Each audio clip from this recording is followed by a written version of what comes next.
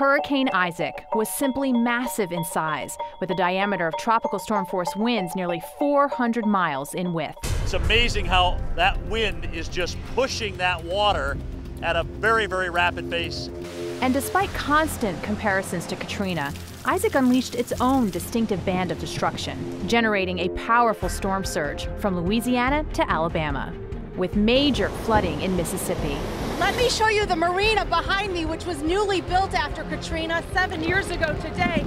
It has essentially been wiped out at this point. In New Orleans, a steady onslaught. More than 24 hours of torrential rains and unrelenting winds. And winds that are howling 50, 60 miles per hour. Keeping all eyes on the city's new higher levees, improved floodgates, and powerful pumps. The flood protection system in and around New Orleans is holding strong. It's operating as it was designed.